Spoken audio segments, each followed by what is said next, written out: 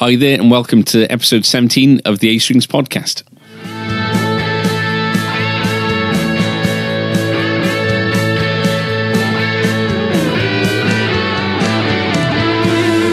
We are joined today by our very special guest. I had a big joke about how we got our biggest fan in the room, and but we've turned it off because of um, ambient noise. So, so yeah, just carry on. We got the most huggable customer in the room. We and we he's the only customer that's got a jingle. Yes. So Should we hear the jingle? yeah, and that's where we put the jingle. Yeah. It's a lot less magic when you hear it. Elwyn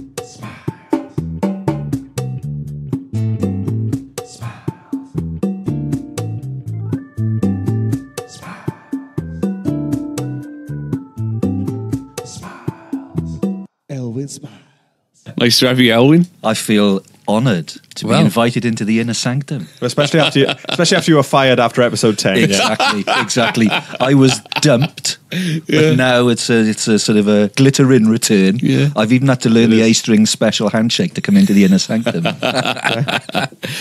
And Adam's made an effort. He's Yeah. wearing um, Right. I'm wearing uh, my, his, uh, his blouse. My my He Very can be nice. described as uh, basically a, Well- camp, a camp cow, I think. yeah. I, I it's, it's, That's it's the got a. Yeah. it has got a bit of zebra to it as well. Yeah. Yeah. something. It's, was it linen? But- I don't know. It's nice though. It looks flammable. I, do you know what? I did wear a vest under it today because I thought it was going to be a bit cold, and it's turned out the opposite. but So I'm suffering today. yeah, so he's about three or four buttons undone. Gotta be. D- David Coverdale would be all over that. Yeah. What? All over my chest. This is the news. As we're recording now, we're three days away from the big Blackstar event we've gone on about recently, the Jared James Nichols evening. This is the point now where I feel like the pressure building now. Yeah. yeah, I start to feel a bit like, is this go get this ready, go get this ready, go get this ready. Mm. But um, I'm sure it's going to be good. Have you you've spoken to the guys at Blackstar? Yeah. already? So um, on Friday, the new Jared James Nichols signature amp landed in the UK. Yeah. There's only 50 being made or Okay. something, but they did kind of, or maybe it's 100, but they kind of backtracked and said that, well, there might be a second run. And Oh, you know, so, but still, you know, it's a like a British racing green coloured. yeah, and it's a Head and cab. It's a two by twelve cab, isn't it?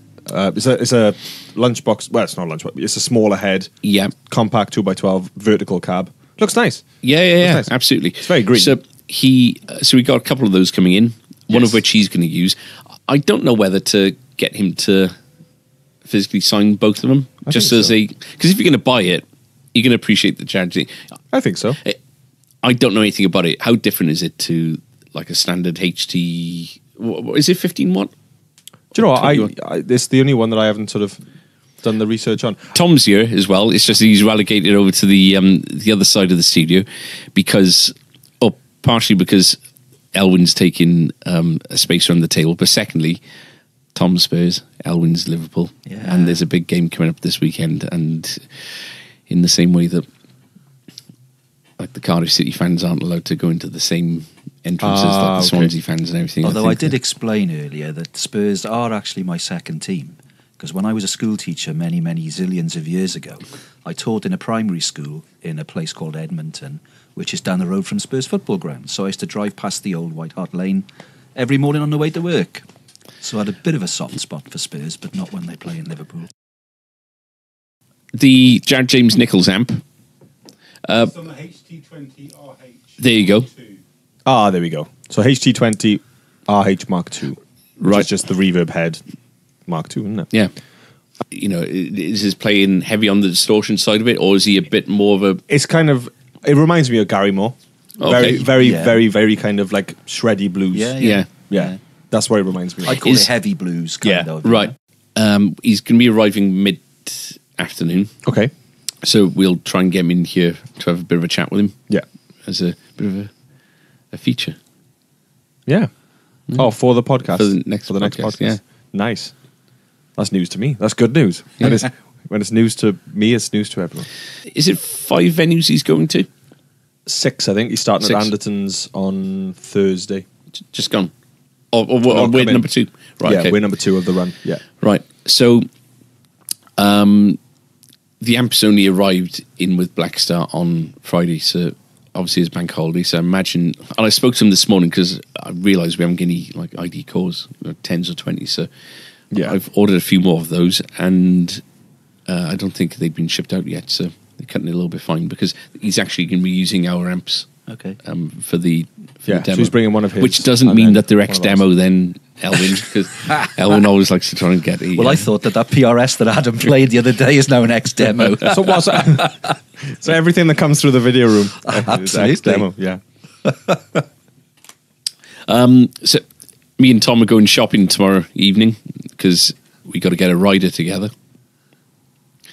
Tom is, I th- we've talked about maybe uh, introducing Tom to him as a local celebrity chef kind of thing and trying to Right. maybe What was um, it that Tom made for Biscuit News once? you made a couple of things, haven't you? But Chili. Oh, the chili. Oh, yeah, yeah, bring, you bring him some of those as your local celebrity chef. Well, you know. oh, So so knowing our luck, he'd be allergic to something. So like, fair likelihood is as well, he's probably not getting a chance to eat properly anyway. It's probably No. all services and everything else. And and not being funny, but if he's asking for this, I want to stand there and eat and watch it. all. I want to watch him eat it all. We're not. Um, nothing's going to waste. you want to see him with Mark Holcomb and the stuffed olives. Swallow it. eat the olives, Mark. They were especially for you. Yeah. um, yeah. No, that's quite a humble rider, Yeah, and mine would be far more. Um, So here's a question because we we were we no couldn't- showy, we no couldn't remember. moe, no shandon, no bandon. You heard of that? No, but yeah, it makes sense. I think that. Yeah, I think we can have a good night. Yeah, He seems a pretty down to earth guy, though, because I've seen a couple of bits on YouTube and everything of him chatting and stuff Really? in forums, and he's very, very easygoing, very good with the public, if you like. Mm. yeah, he You know? seems to be, doesn't he? Mm. So, I was in Dublin on the weekend, and I went to a couple of music shops. Oh, really? Any of uh, Sean's territory? Yeah, yeah. So Yeah. Sean is our Fender rep for those who don't remember. So um, went to I think the there's a chain of shops in Ireland called Music Maker, Right. and I went into the Dublin one, which was their kind of um, flagship store. Really, really lovely staff. You know, I had a bit of a chat with them, and you know, because kind of approach you as you walk in. Uh, you know, can we help you? All that kind of thing. And um, so you walk in. It was on three floors. You walked into the Wow. level, and it was kind of keyboard stock and strings and all that kind of thing. The really nice thing that I liked is that you didn't have a till counter; it was podiums. So, you know, if you're talking to some, if you're talking to a customer, and a lot of the time customers do look over the screen, don't they, to try and see what you're looking at on the thing. Elwyn does. So yeah, you're trying to find out cost price. I've already Yeah, done yeah. research, mate. So um, there, it was two podiums. Okay. So um, the the discipline with that that we I really tried to kind of drill in here is that somebody always always always has to be kind of on the shop On floor the shop because floor. you know people could just you know wander over to the strings and they could you know pick Yeah, them yeah. up off the thing which I really liked the the way it was laid out was beautiful you know there was Hmm. um I'll get to the guitar department in a bit, you know, because the, the interesting thing was there was some things that they did really, really well, and then there were things that we did loads better as well, which Oh, cool. kind of made me feel a little bit better about about this place at the moment, about you guys. Oh, okay. oh, come on. I bet they didn't give you a cup of coffee. They did not for a cup of coffee. No, it was it wasn't even insinuated. No, but the so um, you walk in and you got the the floor and you've got quite a few cold keyboards, all RRP. Good. I go in from what Sean um, says. Ireland really, really suffers from Thomann because I Yeah. think is it over hundred pounds and you get free shipping, or hundred and fifty quid and you get free shipping with Thomann. Hundred and fifty euros, Likely. rather. Yeah, likely. So you know, with it being euros and the UK is a little bit immune to that, or they maybe not immune is the wrong word, but because we got to do the euro um, uh, The conversion, um, it does feel like again from another a different country. Whereas um, obviously they're dealing in euros, they're seeing um, what they can get. So I know um, they do suffer from people buying from Bax and Thomann, and you know, quite um, regularly. But um, yeah, it was um, fairly busy. Went up to the guitar department, and knowing that they, you know, they are a, a Fender account. You know, I think we've probably got about three times more Fenders than they have at the moment. They did flip Flipping heck, and that's yeah, for we're, us. we're down at Yeah. the moment, I think. But you know, he's. I was looking and he said "Oh, we're kind of down on uh, the guitar side of things at the moment. Um, we haven't got that much in, and I was. We started the conversation how difficult it is, um, and it's exactly the reason why they haven't got much up there is because they can't compete with with others. But um, I just found out that um, they've taken on distribution for Blackstar for Ireland. So Oh, okay. I think they've got a few shops. So when they say they've taken on distribution, I think that basically what they've managed to do is guarantee the um, you know the brand. Just So in a similar stores. way that we do Optima yeah, I guess kind so. thing. Yeah, so they're like exclusive dealers, and then they can sell out to other I, I guess that's what it is, you know. Yeah. Um, yeah. So, um, yeah, uh, they had loads of Taylors, and it was a really impressive Taylor department as well. So, um, from what I gather, if you buy into Taylor to a, a certain um, level, they will come in and they will just transform their area to Yeah. just this beautiful looking thing with all the right bits of kind of paperwork and kind of specs and pictures next to the right guitars and it was impressive really impressive. They did the kind of entry level martin stuff. Okay. and you know because of the commitment with that they had a bit of that. There's about 15 20 of those. Did some sigma only a couple of fender acoustics. Yeah. um, but they said that they were um, getting ready to start dealing with gibson. Oh, okay. and uh, so I said, right, so um, what's changed with them, you know, uh, with regards to how they um, deal with people? And he thought I meant, you know, he, he started saying, well, they've just been, they've been taken over or they've been, they went into bankruptcy and they've Yeah, kind yeah, of yeah. changed the way of doing things. I wanted to know a bit more kind of technical, kind of um, technically how different it is to deal with them, you know, uh, on a business level. But he, this guy didn't seem to know what that was. But what's interesting is people deciding to take on Gibson because they have been, you know, the, you know, avoid at all cost kind of company for quite a while. The new range is getting an awful lot of press and a lot of good press. it Yeah. Seems to be. But they seem to then be dumping the original 2019 Yeah. stock. well, and that's the danger when it comes to this time of year is that, you know, traditionally, because you've had the new 2019 2020 ranges, you know, announced run about June, July ish, is it? yeah, Yeah. yeah, yeah. Come this time of year, all Gibson dealers get twitchy bums and they just uh, dump yeah. the stock. Uh, especially they? when They- Amazon came on the scene. Yeah. You know, when when it was Gibson Direct on Amazon, and then they were trying to shift off their stuff. Yeah. Amazon and then aren't it hit now, the. they- It's not now. They, I, it's I- finished, is it? is it? I don't know. I, not too they sure. just don't seem to be have Not been as- as, prevalent. But I mean, obviously, this is going to have a bit more longevity in a sense that it's not year dated, is it anymore? Oh, It's sort of is that- classic and standard or something. They're So not they- actually doing it by year. right. Which Well, that's is, really good. Which is a good idea. Yeah. You know, just you know, develop a, a range as opposed to discontinuing And that's it. what and they're doing, I think. Yeah, So. that's that's really good. It's really good. You know, the proof's in the pudding. If if retailers can get as much out of it as the end users will, um, you know, they should do well. Yeah. Kind I, of. play- fu- I played a Gibson the other day though, and I prefer Where? my Gretsch I bought from you. Really, really. Yeah, um, which um, I played one in Guitar Guitar in Birmingham, and I played a standard Les Paul. I know. I know. I was up there just on business, you know, as I am now and again. did they offer you tea? No, I wasn't in there long. but no, you know, I mean, it, I, I much prefer that Gretsch I bought from here, which is a similar style, I'm absolutely similar weight, you name it, but it played much better than a two and a half grand Gibson.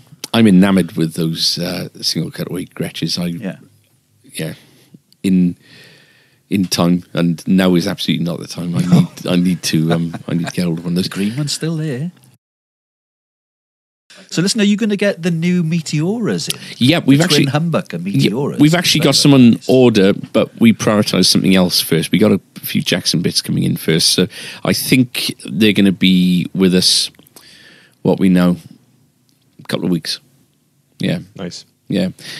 Because we got I- that Scott Ian Jackson coming in, and we That's the- what I've kind of um, pushed up. Yeah, the um, I, I'm hoping to be a bit more impressed. I mean, I, there's um, Leighton's had some um, trickle through, I think, Yeah, I saw a picture. and yeah. I didn't like the look of it that much, and I really like the Meteora look. Did you see? There's a little switch on them. Yeah, Yeah, was- that's interesting. I wonder what that is. Hmm. It's a coil split. It is a split, is think, it? yeah. Or Good. a tap, one or the other. It's interesting that it's a li- Yeah. little push push switch Yeah. rather than a Yeah. push pull pop. but yeah, we got them coming in, Nice. and um, yeah, I've already had a few inquiries on them. Um, If I was playing in anything, that Mm. would, that'd hundred percent be. what you go something I'd go yeah, for. Yeah, But I ain't. Tell you what, I I was interested looking at the other day was the um, the Music Man. Uh, who's the lady? Oh, Oh, um, Saint Vincent? Saint Vincent. Yeah, Yeah, they're talking of wacky Saint shaped guitars and things. And Saint that. Vincent. Somebody's on. yeah, Yeah, they're really cool. yeah, and So, it's, you it's something completely different, and that's what a signature guitar Yeah. should be. I think. Yeah. yeah. So, in terms of segues, that was absolutely sublime talking about signature guitars because Elwyn has picked up the Gilmour Christie's Nice. auction for all of his guitars and his collection. There's some amps in there, and It brought di- it with him. It wasn't a straightforward process to buy this either, was it? You No, didn't have you to go had to actually list? go on Christie's um, website and register for the auction, Wow. um, and then and pay for the catalogue and everything. So what are you And going for? Hey, What what, am I going going for? Well, I was thinking of selling the house and bidding for the black strat, but Yeah. I think, still think the house wouldn't even No. that. They didn't, out of out of you know, in fairness, there are a few items in there that are I noticed four five hundred pounds. there's like um, and a couple of guitars that are like a grand, two grand, three grand. some very kind of um, period popular kind of um, pieces, like um, yeah, You know, what's- what's it's that? like, you know that, that's a, just a, a two thousand and seven Strat, two thousand to three thousand pound. You know, which you know still you know looking two at that. thousand so- one, a thousand to fifteen hundred, and it- it- that's a single ply there, so that would be a 50 Yeah. spec. So it, all these things, I imagine, would be things like this would be sent to him saying, it's a fifty-seven. Yeah. There you go. So they'd probably say, Play right, this, um, and play this. this. and what would you change about this for your? So there's history with it, you know, as part of the development of the um, real things. I noticed there's a um, a 12 string ovation there, which is what um, uh, they use in Queen for all the acoustic stuff. Oh, yeah. which you can't get for love nor money now, and the the kind of guide price on here is between a grand and fifteen hundred quid. I know loads of people actually kind of buy one from Reverb for n- not far off that. I Yeah. think you know it's Yeah. um yeah Yeah, there's a 1987 really nice pink Strat with lace right? sensors in. Yeah, that's like Yeah. 1500 to 2400 is the Yeah, you know suggested price. But having said that, they got the black Strat listed at 150 to 200 grand. Yeah. Well, it's going to make 10 times that. So- yeah. that- I was going to say um, that was used in the Smoke and the Water um, video, the headstockless Steinberger. Um, yeah, You know, he's used a fair different range of yeah, gear over the years. and you know he's he's closer to the end of his career than he is the you know the start of it. You know, I'm I'm imagine there's something like the um, you know the custom shop stuff that he gets sent through Yeah. are going to Yeah, I think be the- sufficient for anything that he wants. I think at the back, um, next to the black strat, there's. I think there's a couple of custom shops there, aren't there? yeah, there's So there's prototypes. kind of like- they, yeah. were, they were prototypes of his of his black Strat Mm. signature that they sent him, and he's got like number one, number two, number three prototypes. Yeah. plus the actual black strat. Yeah. And how much are the prototypes going for? Oh god, they've got him down at like 20, 25 grand, something Yeah, like that. we can beat that. I'll have one. The, um, beat just that. out of curiosity, there's a left-handed one there. yeah, So obviously it's sent through to make sure that you know he's happy with it. But how much is that going for? four to, Four to six. Do you know what? And that's dollars. So you convert that, It's an NOS. yeah. You know, but that's not far off left-handed. what Yeah, yeah, yeah. a lefty would. If anyone wants me to bid on their behalf, So we'll have you in the week after with whatever you've purchased. Oh, yeah, yeah. with his sleeping bag. Yeah, Sleeping bag and guitar. yeah. Biscuit news There's a lot to get through in Biscuit News today. Come on then. So I think first off, we should thank the people that have contributed for last week uh, or for, through the week because there there's been- just so much to Right. get through. So Mike Rossiter came in last week, Yeah, brought us iced lattes, iced coffees, giant biscuits. Yeah. Uh, he brought us the granola flat, the granola squares as Yeah. well. They're always good and well. Just amazing. Mm. And his plan is to make Make us make his, his make his own uh, biscuits. And I don't know whether they're going to be giant as well, but uh, if they are, that's amazing. Mm. So thank you to Mike, Christina, one of our our new uh, new regulars. She came in to try. I- I'm only following from Facebook, but she came in to try one of the gluten-free custard creams by the looks of it. She was um, she was coerced into trying a, a gluten free custard cream. um, she came in uh, just yeah just to pop in, say hello, and and uh, and bring us this plethora of marshmallow goodness. So we had two boxes of Tunnocks. We already had a 10 box out there from last week from the Herberts. So we had a 10 box out there already, plus these two boxes of six, plus two two boxes of six of these snowballs, the coconut snowballs. Brilliant. The good thing about these and the Tunnocks is because they're marshmallow, they're completely silent on a podcast. So you go crazy. You, have help your- yourself. You have your knees Is that a in. challenge? Yes, so we did coerce uh, Christina into eating a custard cream, a gluten free custard cream. And uh, she wasn't. And she's not coming back. She's not coming back. Brilliant. So But- thank you to Thank you, Christina everyone, and yeah. to Mike Rossiter. So we've got a, uh, a smorgasbord of biscuits, and Yours are more. Yours are the more exciting because yours are from o- overseas. Well- so they're for you. Tell us about your your. Well. I went away, and, And as back. is as is polite, I brought some biscuits. Chris, I bought from the Guinness Museum. I got some luxury sea salt caramel fudge, which Oh, isn't yeah. technically a biscuit. They do them on the plane from China. Thanks. what good is that to us? Yeah, do you know what? He doesn't listen. Tom's already hovering. Um, and some shamrock shortbread. Amazing.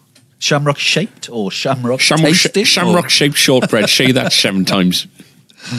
If they're shamrock tasting, it just tastes of grass. Doesn't? We're back to vegan again. They're Yeah. vegan. And what have you got? So I was in Cardiff today, Hmm. and there's no better place than Wally's Delicatessen, and I know Andrew likes his cannoli. Can- cannoli? Yeah. Or cannoli? Cannoli. Cannelloni. Canna- cannoli. Cannoli. So, so I basically I bought an Italian biscotti selection because I knew Tom didn't like the cannolis. Tom took one look at this tray, and it's a tray full of loads of different things. He's like, "Yeah, I don't like them either." But luckily, I also bought the Belgian Boys mini choco stroop waffles. Now I didn't realize. no, I didn't realize that they were called the Belgian Boys mini chocolate stroop waffles. stroop waffle.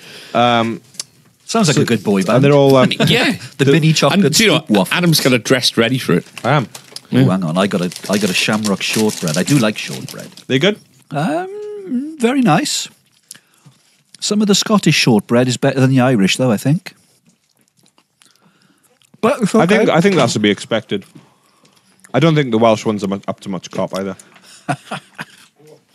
I promised myself this morning that I'm going to stay off the bad stuff because I've had a really, really pig out weekend. I've had Oh, I haven't. Had three portions of fish and chips over the course. Of, he's loitering there. Come on. Right, what do you want, Tom? I want some Guinness fudge.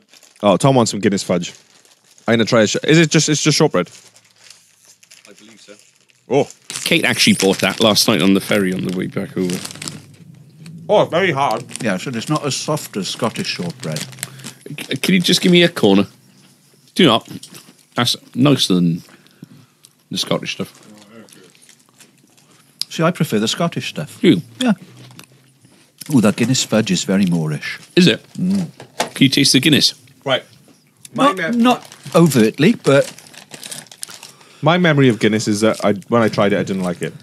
So, do they taste like Guinness? Do they taste like Guinness? There's a there's a hint. Yeah. Yeah, there's a hint. Definitely. I can smell it from all of you lot. Chowing down. Hmm. Oh, So what's next? I need my sugar levels boosted. I purposely didn't eat too much before I came, so my sugar Right. levels would be quite low. You look like the man who'd enjoy a Belgian stroop waffle. Oh, Mini- I mini would love a stroop Belgian boy, stroop waffle. Adam, you know how to edit.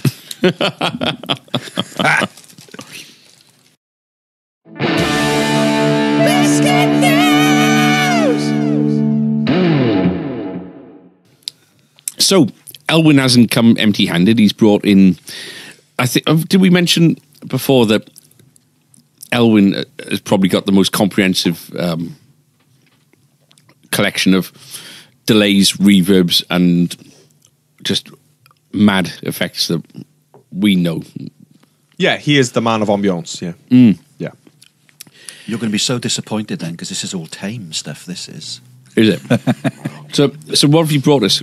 It- is- this is your top. Just a little bit of a mixture of a couple of things. I Hmm. haven't brought anything that's too wild and wacky because you know you want something that's at least musical. Is it fair to say that these are your favourites? Um, I would say that probably four of them Hmm. out of this. Well, in fact, yeah. mm, If I went in order of what I brought in, um, first up is the Boss Tera Echo, Right. Cool. which I don't know how to describe that. It's a kind of a mixture of reverb and far out space noises. Um, the staple reverb really is the MXR reverb that I got from you guys. Um, and two settings on that in particular the it's the epic and the pad settings Right. that are very very spacious and uh, and far out Yeah. Um, I've brought in an Old Blood Noise Endeavours Procession reverb pedal, which is not a normal reverb pedal because the tails have either flange, uh, filter, or tremolo on them. Okay. Nice. Um, so that makes some very interesting ambience. Um, and then from a delay point of view, we've got uh, the Strymon El Capistan tape delay, um, which has also got an option for a spring reverb as well that you can bring in as an alt switch on it. Um, I've got the Cattle Inbred Belly Pock Deluxe, which is uh, um, an EP3 Yeah. effectively With the preamp. with the well. preamp already kind of built in. Um, and then I have a Earthquaker Devices Avalanche Run version 2. Now, my favorite thing about this selection is we've got a boss here, and we've got an avalanche, and we've got an earthquaker here. Indeed. Not that they do the same thing, but it's the two Yeah. products that we talked about last week. But I mean, out of all of them, that is my favourite pedal. The Avalanche Run V2 Right. is Yeah. It's awesome. amazing. It's an epic pedal. And just out of interest, what I've also done is given that technology's moved on so much these days, I mean, most of these pedals are analog. Um, the Strymon is digital, um, but the rest of them are, are analog. But what I have brought in is uh, my Line 6 HX Stomp, Right. which is the squashed down version of the big Line 6 floorboard, uh, the Helix floorboard. Um, it's got everything in it that the Helix has got. The only differences are in the DSP, with a number of blocks you can actually use at the same time, and all the ins and outs. Obviously, you haven't got as many ins and outs as you have on the big floorboard, and no expression volume pedal. Um, but it works as an interface as well. It Goes straight into computer by USB into your DAW. Um, and the reason I've kind of brought that in is just because I, I've just put one little patch together this afternoon that kind of stacks um, a, a delay uh, and three reverbs, just so that you can Yeah. see that you don't have to just have one reverb playing along. You know, you can stack things. You asked me once about. I think I, I think at one stage I was stacking like thirteen delays or something, and it sounded like I was on warp speed ten or what have you, disappearing off into the wilderness somewhere. But uh, So Adam's going to pick up um, guitar, and we're going to have a listen to each of the pedals that Elwyn's brought through, and maybe you can talk us through Yeah. how you use each one, and tell us why they're your pick. I guess it's interesting. We're starting with the Tera Echo, the Boss um, Echo, and um, I'll be ca- careful how I say this because it might seem I'm being a little bit biased given our conversation last week, but it seems that every guitar shop has a number of Boss pedals that uh, the Slicer, for example, um, Echo is one of them. I think that it's very very difficult to move on in a, a timely manner. Um, it's not. it's not something that everybody would would like. Um, you can use it in many different ways. You can use it as a as a straight up reverb to an extent, but I tend to use it more for the uh, if So- you like the percussive tail thing that comes on it, which you'll hear when Adam So kind of plays a little bit. So is it a reverb, a delay, or like a fusion of the two? it, I don't know is the honest answer to that Okay. because it's not. I wouldn't call it a delay. Um, it's think- more of a reverb with some kind of fil- filtering Yeah. sort of. Have a, have a listen to it. This is with everything at twelve o'clock. So this is uh, the American Performer Strat into a Blackstar Studio 10 6L6 SM57. Uh, uh, uh. oh wow! So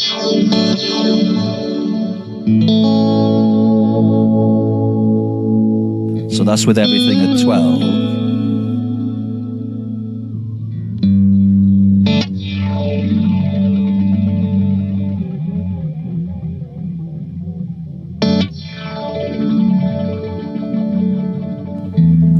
The controls on it, the main controls, feedback and spread, and the feedback is the number of times, obviously, as it would be with a delay, and the spread is is how long it carries on for in a way. But Yeah. if you max everything on it, hmm.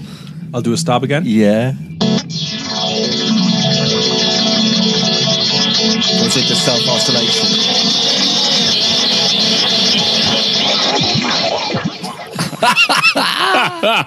You wanted weird, you've got weird. Yeah. I don't know what that's done to the recording levels, but I'll figure it out. as a less extreme, I was going to say take it down. something quite subtle. You know, something. You know, what would be the most usable kind of patch? You know, as a Yeah, usable. there you go.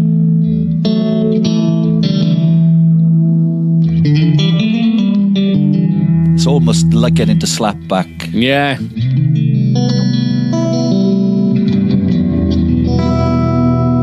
So what was that one you were just in there? Was That's the feedback. Feedback, That's the okay. Spread. The spread does that. Ah, okay. The feedback, it's almost like it kind of the reverbs off everywhere, bounces everywhere, doesn't yeah, it? it kind of gets turns itself inside out, kind of thing. Yeah. Yeah.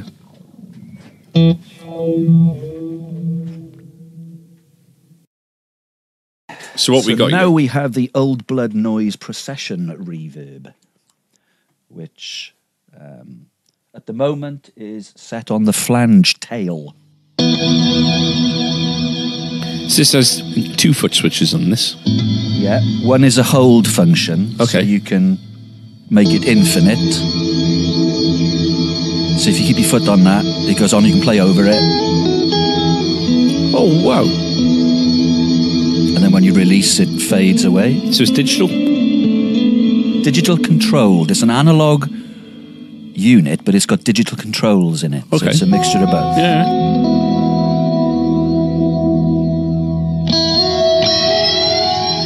That's the flange you can hear, obviously. But again, these are all creating just ambient pads and And what Adam's playing here, that is that yeah, the kind of thing that you're stuff, doing. This yeah. nice kind of Um, clean. yeah, um, it's always on a clean amp. yeah. It's never. I'm usually using my JC22, Right. Okay. which is stereo. So, So- I'm using all of these in stereo. so you'll well. go stereo in and right. Okay. Yeah. Yeah. But then if you go to the filter setting, we have a different Hmm. different tail. Kind of reminiscent to what the boss was doing, wasn't it? That kind of like Yeah. opening Yeah, and without a the filter. Yeah. but Without the I what? do that again.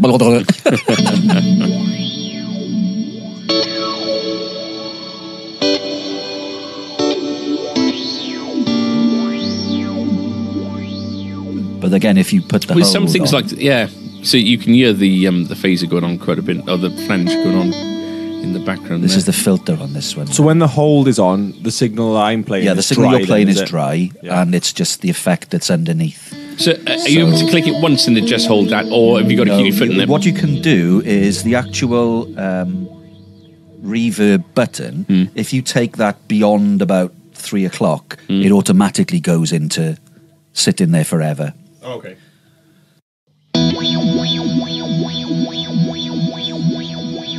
So that's just infinite now. That'll go like that forever. Hmm. But you can still play over it. Yeah.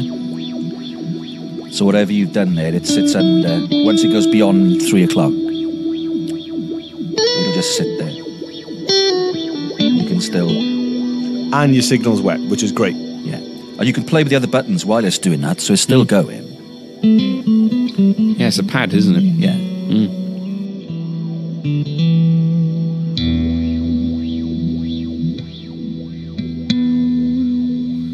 Sit there all day. Then the last one is the tremolo one, which.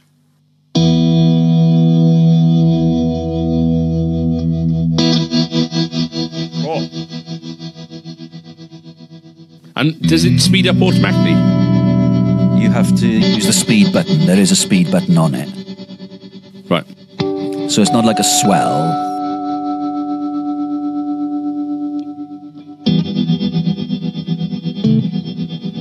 So now you got that underneath as a infinite going on, going on, going on.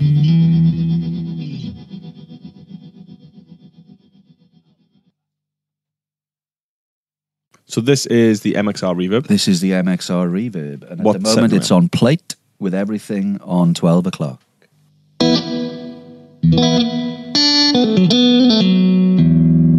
So most of these are just straight up usable reverbs that you're using every day.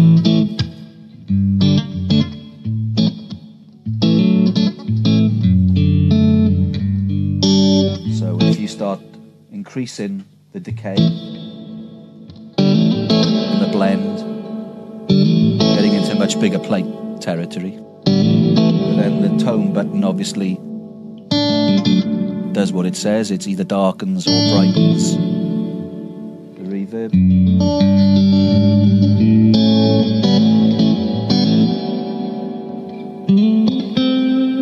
we move on to spring,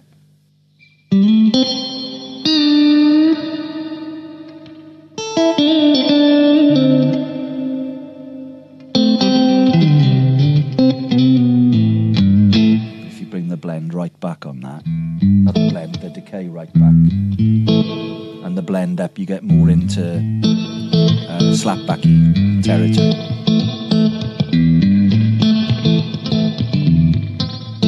And it is quite drippy as well if you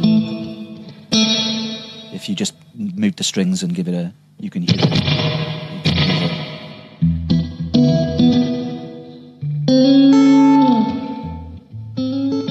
But one of my favourites on here, because I'm going to skip some of them, Yeah, that's fine. is uh, the epic setting. Epic. where you start getting a much longer tail or trail tail. So when you volume swell in, the tail is still there underneath it when he's volume swelling in.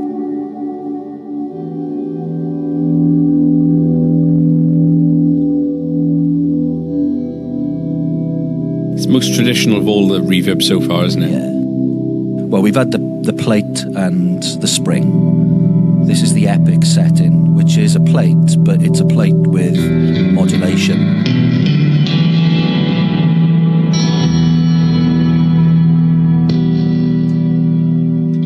And then if you go to Adam's favourite setting, which is the pad setting,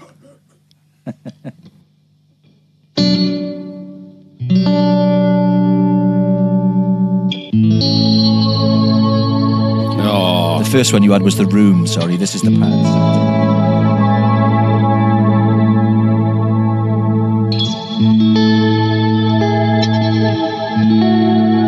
So that's the choir of angels in the background, which you can darken.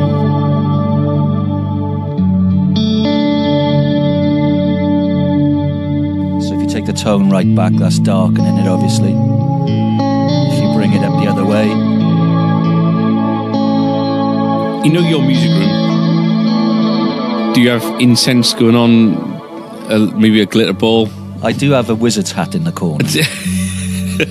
but that's unrelated. Looks a bit like, looks a bit like the sorting hat from Harry Potter.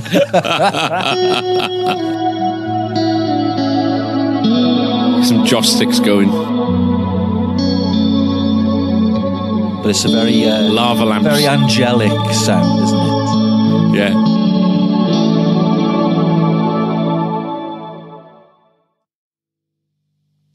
So what's this one now? So now we have the Strymon El Capistan Oh. D-tape digital tape machine.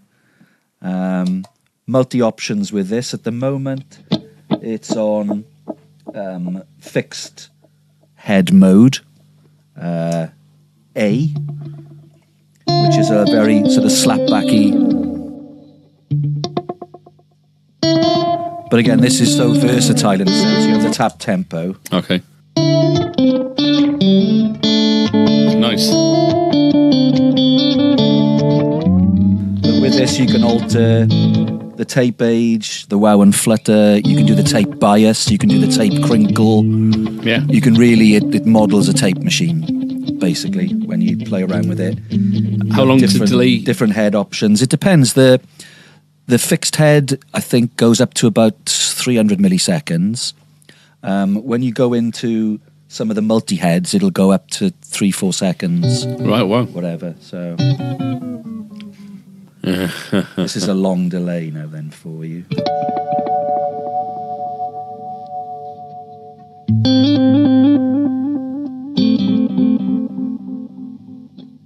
What you can do as well is put a spring reverb in with it. Now you've got a spring reverb as well.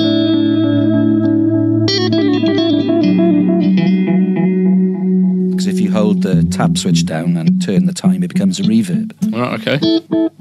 And similarly with the others, that becomes tape crinkle, that becomes tape bias,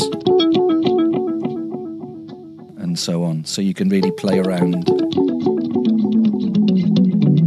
But it also does, um, on the single head option, there's a sound on sound on it. So if you play something now, just just play a chord or something or whatever. Now keep on playing, and that chord should stay in the background. You can just hear it underneath. It fades away slowly. Yeah. So it will do like a sound on sound as well. But yeah, it's just uh, just such versatile. Mm. Tape delay is my favourite out of all the delays. because of that kind of t- decay and Yeah, dark. Yeah, the dark repeats. I agree with that. and everything and Yeah. that. Just play a minute before I went, you know.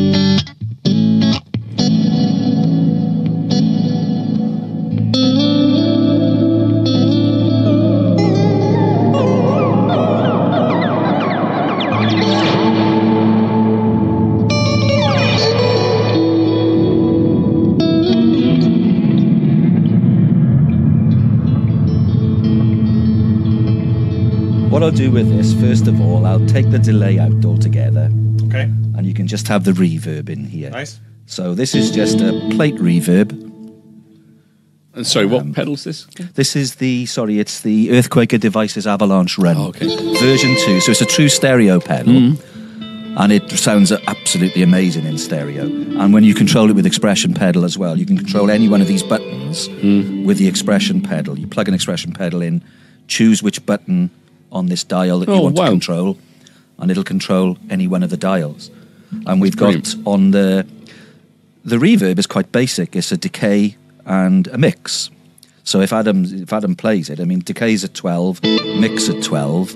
You've just got to just a simple plate. If you take the delay right there, there's decay right up. You start getting something completely. But again, this also has the hold function. Oh, sorry, it's the tap button to hold on this one. So if you play, that will now should just sit.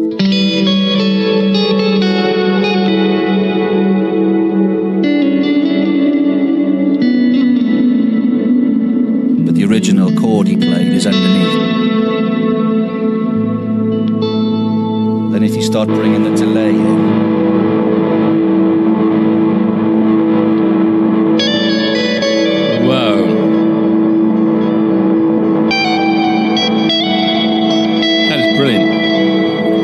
something like a distortion to it. It can do all sorts. You can get a bit crusher out of it. Ah, there we go. It's the reverse delay. The reverse delay goes into a bit crusher.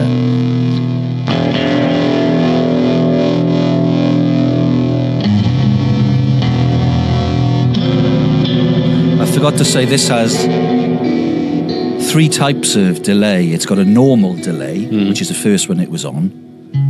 Then you have a reverse delay, which I'm bringing in now.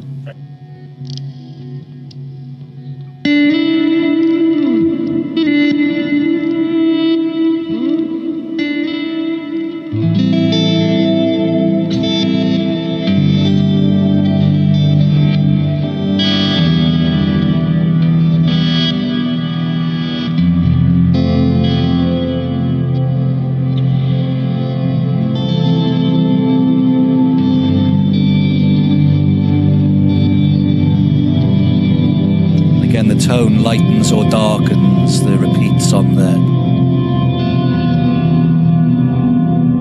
delay. So that's the darkest it'll go, and then the lightest it'll go in terms of repeats and that.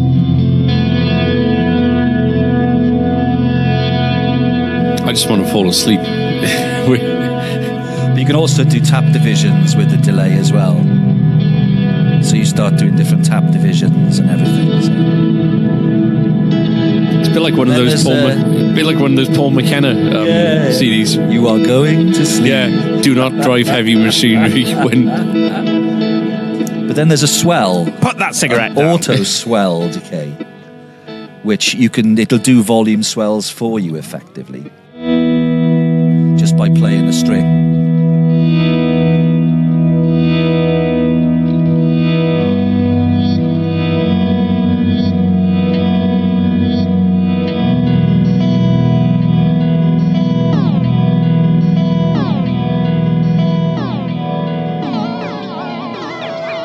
We got to have a bit of fun.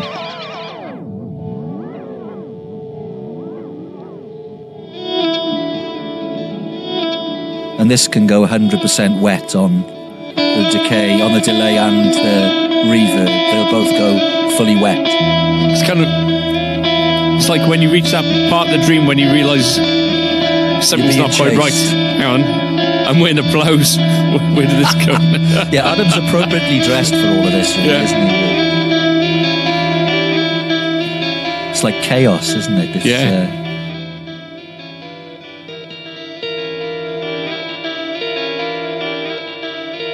I like that a lot. But this is kind of what you're looking to get in, isn't it? The EQD stuff, and it's all great. I've got the Grand Orbiter as well, which is a phaser pedal, and that's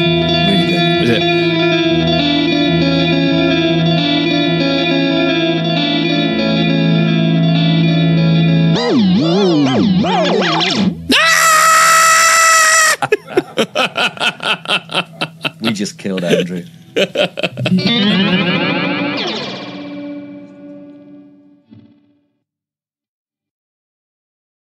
So here we go. This should be on already. A delve into digital. A delve into HX Stomp Digital.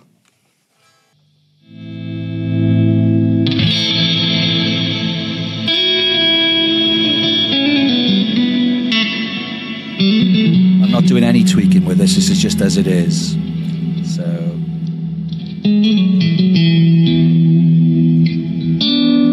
That's the plate reverb turned off and the delay turned off. So you've just got an octave reverb and a particle reverb on at the moment.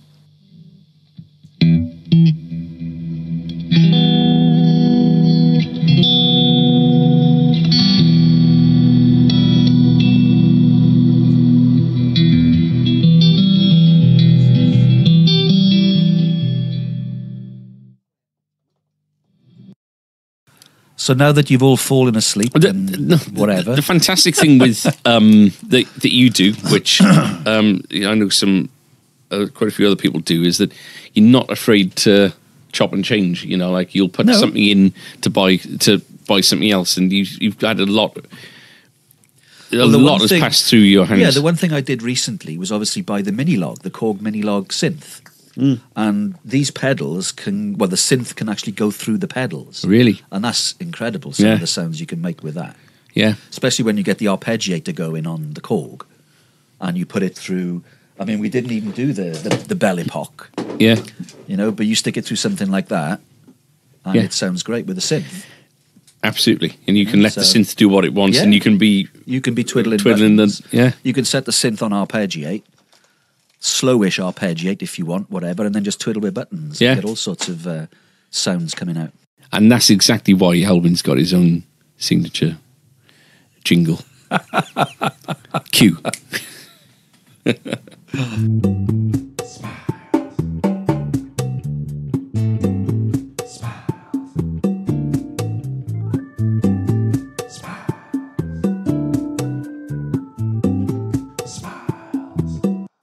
Elwyn Smile. So, usually we do a Tom's top five. Yeah. It'd be interesting to see what uh, how Elwyn rates the pedals that we uh, yeah. that So- we talked about. Could you rate them? Stay where you are, Tom. No need. I Back. would rate them number five. Not just the ones you got here, but the Oh. ones that you've. Oh God. Jesus. The best. Sorry, I'm chewing a mouthful of this. He's caught me at an opportune moment. At least you at least you apologise. It's just nice. stuffing my face. I just crunched on a nut as well on something, or a is either that or a filling. I'll send you the dental bill later. um, probably the best delay pedal I owned was the Empress Echosystem, Right. Right. which was absolutely stunningly awesome. But I found I spent more time fiddling with it than I did actually playing Yeah. because there were so many choices you had Yeah. with it that I would just sit there for hours just trying all the different sounds and never actually playing anything, you know? Um, which is what I like about things like the Avalanche Run and that it's one delay and it's one reverb, but you can do a lot well, with that yeah. one delay and reverb. Yeah. So you're only fiddling with a couple of buttons on those settings. You're not messing around with, Mm.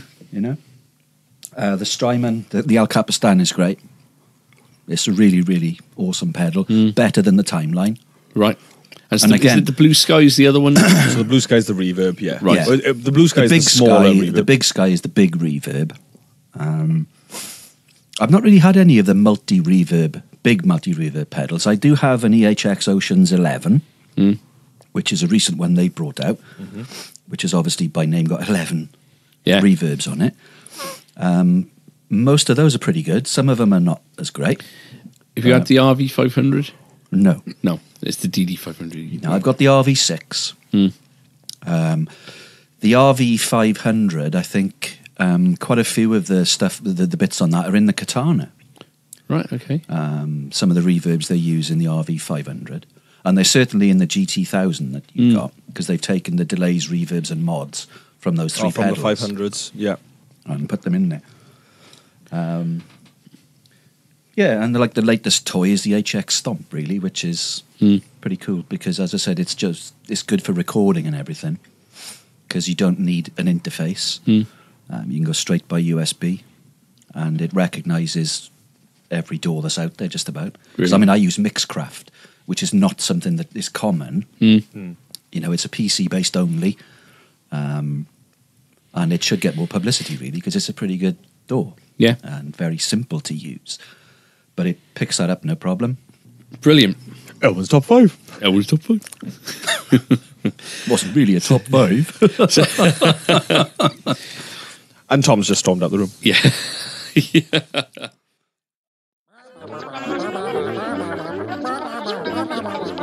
Social media comment of the week. With the last couple of weeks, we've been asking your opinions on um, what do we do when we come up with a situation like the the Roland the Boss um, thing that we got, whereby we really want to do the brand. We think we can. Well, we've proven we can sell the brand, but um, we can't be competitive as people are online because you've got a lot of big boys. I've heard from three people in three separate conversations today that there's going to be some casualties very, very soon. big ones as well. But because of, because of this struggle with online pricing and Yeah, just it- yeah, just losing money be- hand yeah. over fist Yeah, with yeah, regards to. So, which we'll talk about in um, future episodes, I'm sure. But um, yeah, this problem whereby if you want to be competitive with um, people online, which we want to do, we don't want to. We don't want to. Well, we've gone through the reasons. So um, we can't make any money from a boss pedal as it stands at the moment. yeah. So um, we put it out to you asking you to get in touch and um, tell us what you think. And we had a really quite long, detailed message from a guy called Hamid Kamil, uh, Kamali. And it's, yeah, it's really kind of a detailed, in depth thing. I'll kind of um, read a bit from it. It says, I just finished listening to episode 15, so here's my two cents. Used to work in a music shop in Cardiff many moons ago. So um, have a little bit of insight into how things work, but I'm also sorry to hear how difficult things are now. I've never bought an expensive guitar without trying it first. I've actually bought the vast majority of my guitars from Andertons, despite living in Cardiff. I've spent tens of thousands of pounds there, and the only times I've strayed have been when I bought my custom 24 and 1994 ESP MX 20, 220 from Gamlins. The reason I'm saying this is because I value trying a guitar and finding the one over saving a few quid. I also value the experience of going into a shop. However, in order to be enticed into the store, I need to know I can try all the brands that I want, which is why I'll spend the extra money in travel to get to Anderton's. The reason I've never been to you is because you probably don't stock Gibson, ESP, and now no longer Boss. So that's right, we don't stock um, either of those brands. Um, I may not buy a Boss pedal, but I want to compare other pedals with it maybe the markup on Boss pedal is crap, but if you sell a different pedal because the customer came in and could try both, you've actually made money from the Boss. I went to Anderton's in December looking for a single cut guitar. I went there because they had a PRS and Gibson. I ended up leaving with a Les Paul R9. I didn't check Google to see if it was the best price. I wanted that one. There are always going to be numpties to buy a guitar without trying for them, without trying them. Thomann PMT is perfect for that. However, for everyone else, you guys could be the store to go to, but you can't alienate yourself by closing doors to certain brands. You can't just look at the markup of an individual item, but the markup of all the items averaged out, if that makes sense. I would suggest I would suggest stocking Gibson, as there isn't currently anywhere decent in the UK which which has ESP USA. If you stock those, you will get people in, get them in, and I will buy one. So, um, it's quite detailed, and, and it, it it's exactly the other flip side of the coin that we kind of think of. And Yeah. what's good about reading something like that is that sometimes you get so caught up in in our own kind of world, which is on the other side, of the, on, behind the counter kind of thing, that um, you wonder whether you overthink things and whether people actually think along these lines. So, Yeah. um, what are your kind of thoughts on that? My Honestly, one, does he know Drew? Uh, who is the current ESP rep? Do you know Drew? Uh, no, I'm joking. Um, the my my issue is yes, it's the kind of thing of I've said to a couple of people recently in the last couple of weeks.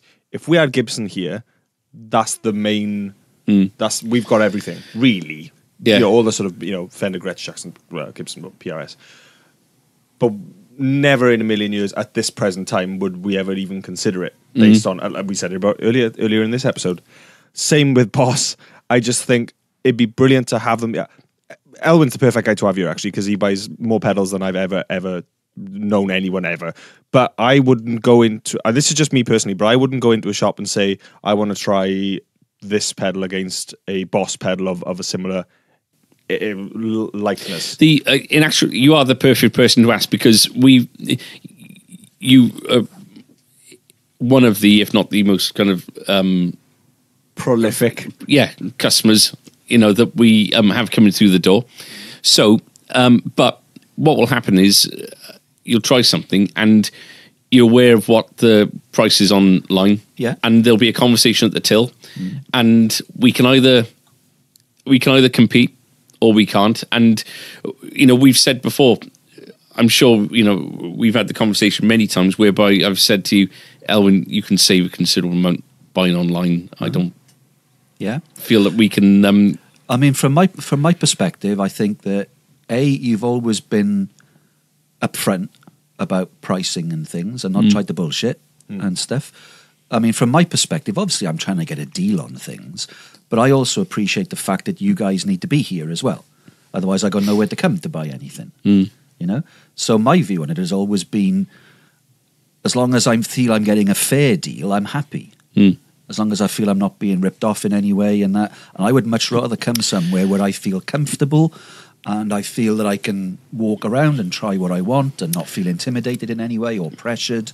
So, um, uh, as a specific example, you need a new tuner, a TU3, right?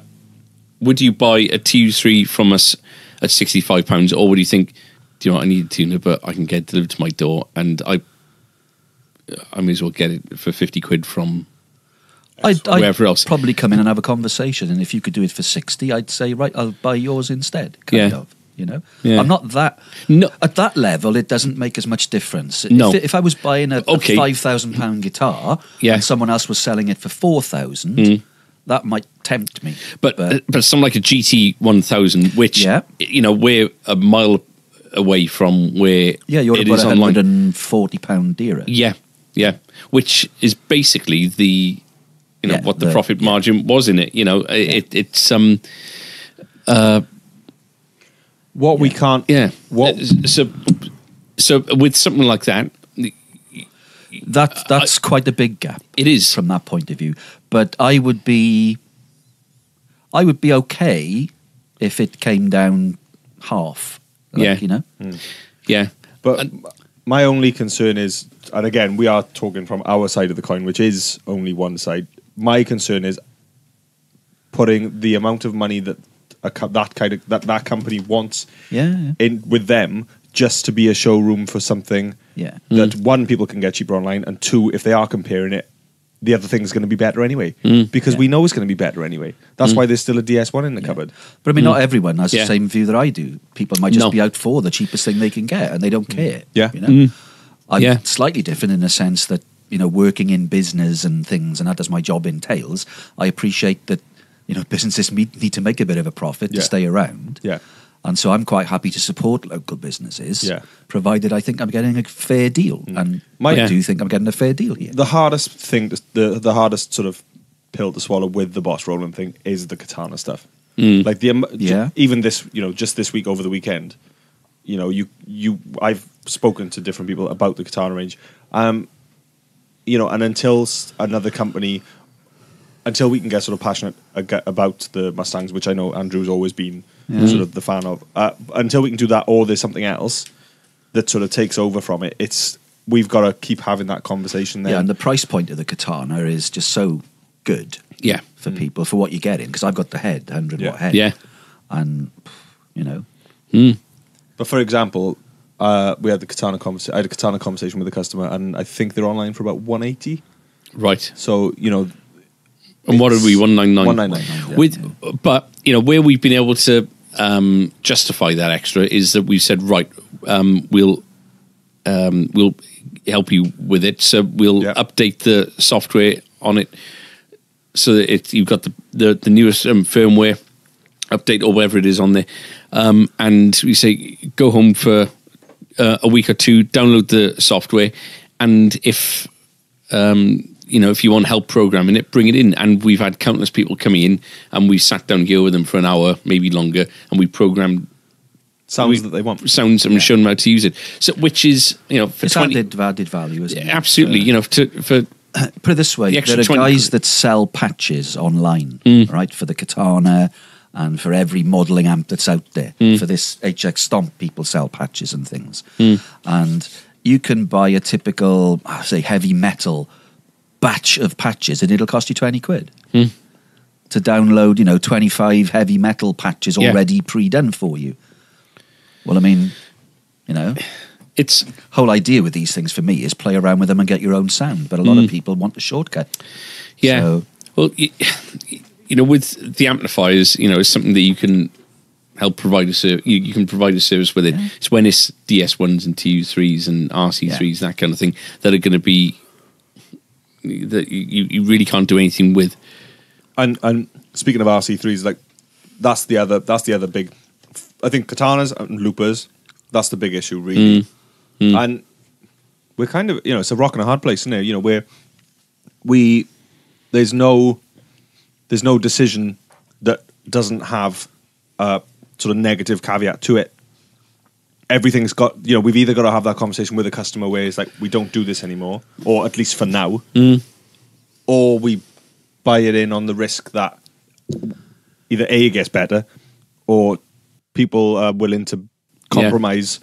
But if uh, your a- if your a price. customers know that you're not stocking a particular brand, then you know they won't come and try and haggle on you know because they. I mean, it's like me. Some of these things that I've got here, you don't stock. No. so I've bought them from somewhere else Mhm. Because I know that Yeah. you don't stock them. Yeah. You know, But if we did, if you did, But you that's know. good. But, but that is good to know. Yeah. That i- yeah, that is good to know, and it you know it gives us it definitely gives us confidence to. But I wouldn't know. stop coming here just because you didn't stop bo- stock Boss pedals or something. You know, it would be. I mean, I like the coffee too much With, with, with, and the biscuits. with, with the um, the comment from Hamid though, which is which is really valid, is that you know um, how many people aren't coming to us in the first place because we don't stock Yeah, a I particular guess. brand. You know, I like guess. it's um, you know, like, that's the same. Where do you stop? You know, there, there's so Yeah. many different things out there, but Yeah, yeah, it's it's a it's a decision for you guys. You're juggling so many balls in the air, really, that whatever you do is right or wrong, isn't it? You know? And, and nothing is nothing is little in terms of No. commitment to a brand either. No. No. it's not like we can say, "Oh yeah, we'll have a Gibson or two Yeah. just to just You'd to probably be have in." to have ten or fifteen pieces or something it's- like it's- that as a minimum, it's- Yeah. which is then a serious investment.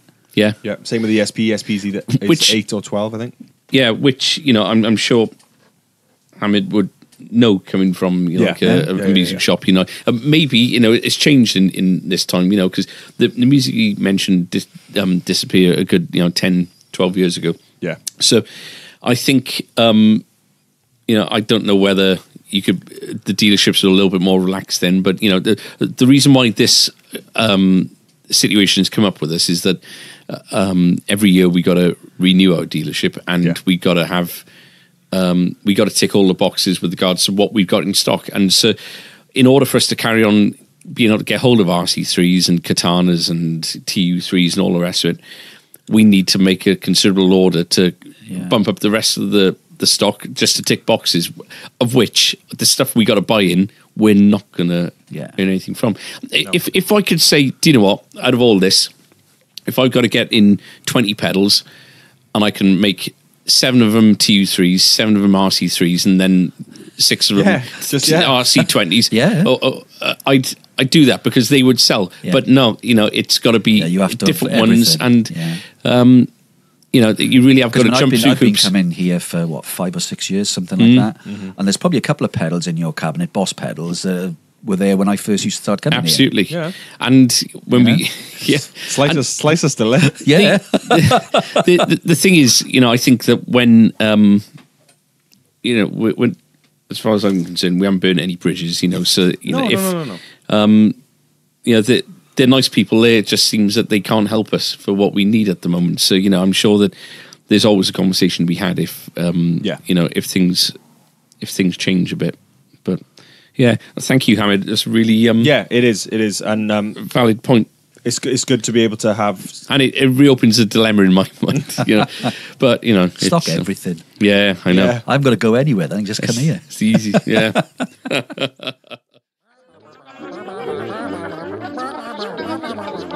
Social media comment of the week. so we've seen you twice this week, which is strange because it's usually Yeah, four or five Friday times, night. isn't it? Yes. I don't know, yeah. yeah, it's a quiet week this week. so um, no, we're going to um, get um, Jared in to talk a little bit on here. Hopefully, get some video content with him as well. Yeah. and we'll be streaming everything on Facebook Live, YouTube Live, and everything else that goes along with it. Um, I think um, it's going to be a good evening. It should be really good evening. I've looked at some of his like workshops on YouTube. And, Yeah. um, yeah. He it- seems it pretty be really engaging and stuff, and I think that um, yeah, I, I think that people are going to have a, a decent night of it. But um, get here early for your car park space. I know. Well, I've got to get here early for the traffic on a Friday, haven't I? Yeah, yeah. Coming through the Yeah, tunnels. So, um, brilliant, Elwyn. Thank you very much for coming in. Thank It's you been, very um, much, guys. It's been a, a pleasure for you. Yes. No, it's been good fun. yeah, no, absolutely. And we'll. And I um, know the load, know the lowdown on what goes on behind the scenes, folks. So you know, with Adam's garish shirts. And, yeah. So, um, I've been Andrew. I've been Adam. I've been Elwyn. I've been Tom. Shut up, Tom. Can I do a bye bye? You're absolutely welcome to follow us on uh, Facebook, Instagram, Twitter, YouTube, everything you can follow us on. Spotify, and all the rest of it. And um, Be the stalker we want you to be. we'll see you for episode 18 next week. bye bye. bye bye.